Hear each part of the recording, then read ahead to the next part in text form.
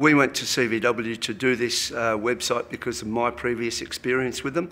Uh, that was uh, three years ago, and we've uh, found the service, the uh, skill, and the uh, organisation of CVW to be second to none. And I've recommended them to several other people uh, during that time. And the uh, service, the speed of the service we get from them, and they always give me exactly what I'm asking for, even if it takes a bit of effort on their behalf. And they always come back with the right answer for me.